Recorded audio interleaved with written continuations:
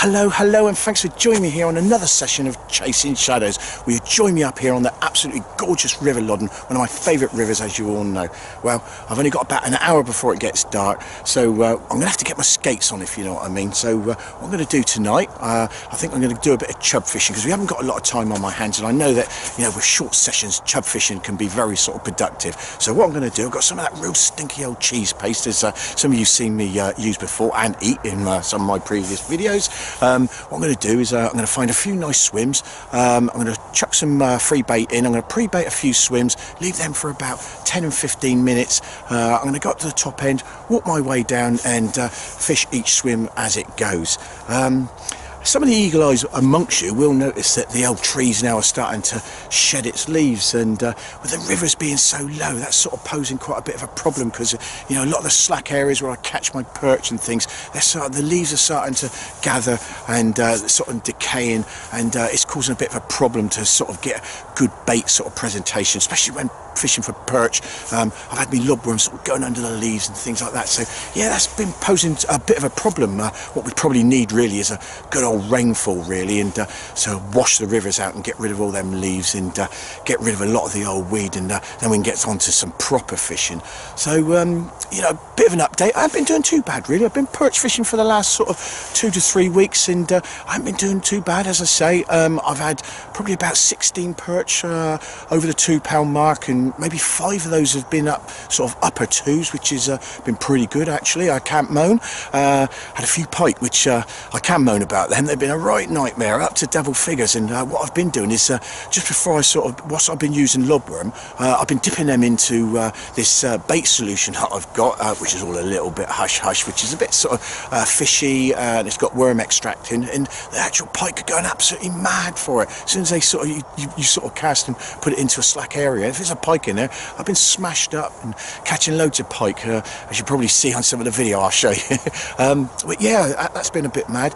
And uh, and also I had a surprise visit from a from a, a, big old barbel, double figure barbel. You know, I've been fishing this stretch, which is a it is a barbel water, and uh, it's been sort of pretty tricky for some of the barbel anglers, which I, I've been sort of speaking to, and they've been struggling. Only sort of having one or two fish, and a lot of people have been blanking. So, so I come up here with a light quiver tip rod and uh, that link ledger rig as you see me using, I've sort of gone out there looking for the perch with a 22 inch pan net and I've only gone and smashed out a double figure barbel. Took me about 10 15 minutes to land, which was a nightmare with that small net, as you can quite imagine.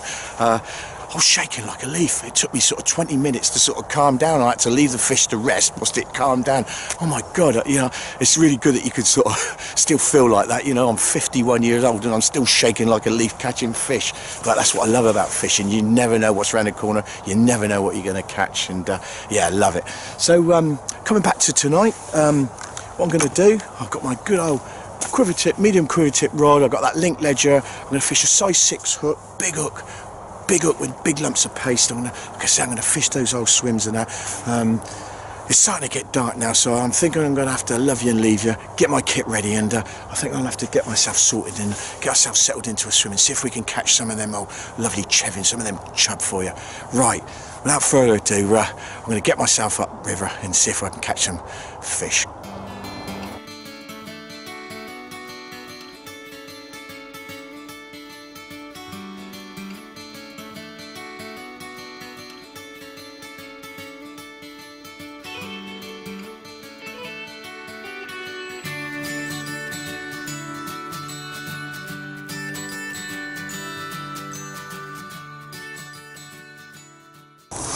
Well, as you can see, I've just come up to bait that swim. And that's a bit of a banker swim, but someone's already in there and he don't look very happy. So uh, I think I'll give that swim a bit of a miss for tonight.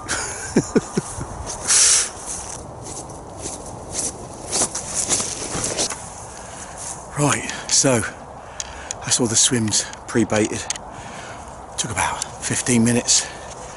It's uh, well worth putting in all that effort, uh, finding yourself some good swims.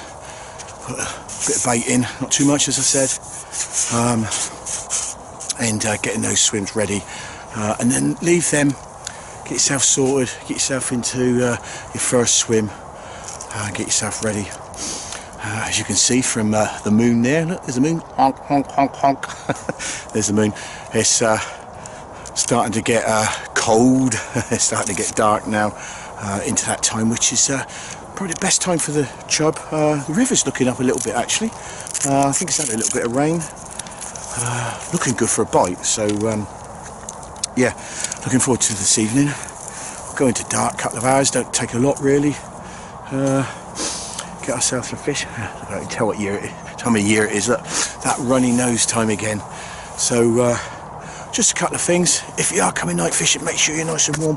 I like the old salopettes, they keep you nice and warm. Stop the wind going up your back. Get yourself a nice hot drink through the night. And uh, if you're comfortable, you're warm, you're going to enjoy your fishing. If you haven't got the right kit and you've not got enough clothes, nice woolly hat, you're not going to enjoy your fishing. And uh, by God, it can get cold. But the rewards are there, especially with the chub fishing. You're going to get more and bigger fish when it gets dark. So uh, definitely put the effort in. It's uh, definitely worth it. So uh, I sort of got a feeling that the next time I'm going to see you now is probably uh, when uh, it gets dark. So uh, hopefully with a fish in my hand. So um, right, sit back, relax. I'm going to make myself a cup of tea and uh, hopefully uh, I'm going to get a line out and let's see if we can pull one of them lovely chub out of the river to show you.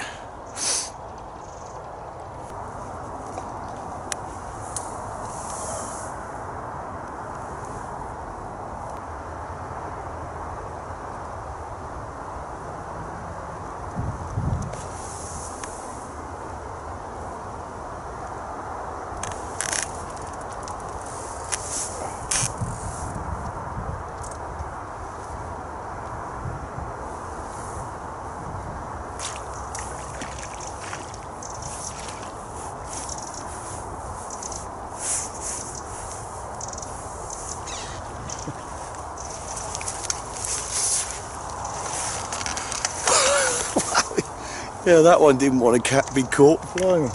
Give me a right old run for my money. I don't know if you saw that, but he found a first weed bed, load of reeds, and uh, hogged himself in there for about three minutes. But I think I was a bit lucky to land that one. And uh, looks quite a nice uh, chub actually. Right, uh, and before it's dark as well. Oh yeah, it's a really good chub. Right, let's. Uh, I'll get myself sorted and I'll show you in a sec. Hold tight. That's a good start to an evening's fishing. Oh, uh, I'm not going to weigh it.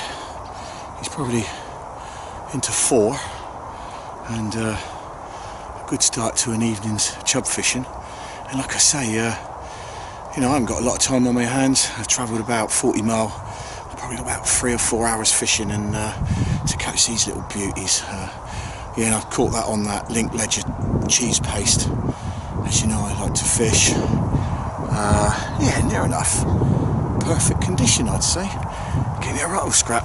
Took me into a, like I said, like into a reed bed, which uh, the problem is there's still a lot of reeds about, and we're sort of, like I say, we're in November, and uh, yeah. Um, Whereas we'd have had a few more frost by now, and uh, a lot of the reeds would have been uh, sort of gone by now. But uh, yeah, this chap found them. But uh, yeah, caught him. That's the main thing. And uh, there you go. That's a good start. Um, if you don't catch any more, that's fine, isn't it? But uh, I'm sure there should be some more in the bag for us, as to say. Right. So I'm going to put this one back a bit further up, not to disturb the swim. So, uh, as I said, look, the rewards are there. Right, time to go back, my friend. God, it's getting cold now. So, um, right, I've fished about seven swims now, um, and uh, I've not managed to find any more chub. Uh, they're pretty elusive tonight, if I'm honest. Um, and uh, really, I, I, don't think the chub fishing sort of kicked off yet on the Loddon, um, especially with, you know, the, the, weed's still up and uh, there's still a lot of vegetation about. And uh, yeah, so, you know, I get a feeling tonight it's really not going to happen. So we had that one chub earlier, uh, which was quite nice, near enough I'd say that was about a four pounder. Uh, yeah, so I was really pleased with that. So um, you know what I mean. Uh, we haven't blanked. Uh, God, I can't, can't, can't feel my fingers now, and my, toes are so cold. So um, yeah, um, I I think I'm probably going to call it a night. Um, and like I say, I just want to catch up with you today, just to let you know I've been getting on. So um, right, well, as normal, thanks for watching tonight keep subscribing. Uh, I think I'm near enough up to 450 subscribers. It'd be really good if by the end of this year I could uh, get up to 500. And um, to be honest, today is probably, I've been doing these videos now for 12 months actually, so uh, really enjoyed that. And like I say, it would be really good if uh, I could get up to 500 by the end of the year. So once again, um, thanks for watching and I'll catch you soon.